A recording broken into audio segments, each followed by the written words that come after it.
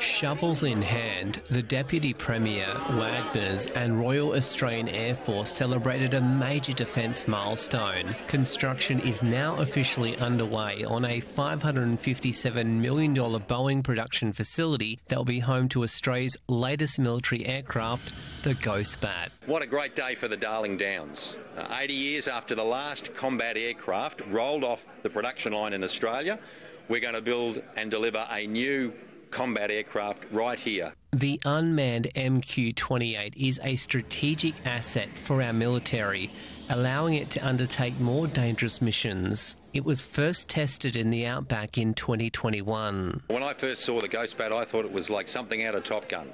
Uh, it is an amazing aircraft, but it's amazing technology that we are going to deliver in Queensland. And now it will be assembled in our region's own backyard instead of the US. The facility is expected to be fully operational by 2027 with the help of more than 50 suppliers across the country. We know in the last few years that the world's become a more dangerous place. And so uh, our country needs to strengthen its defence capability.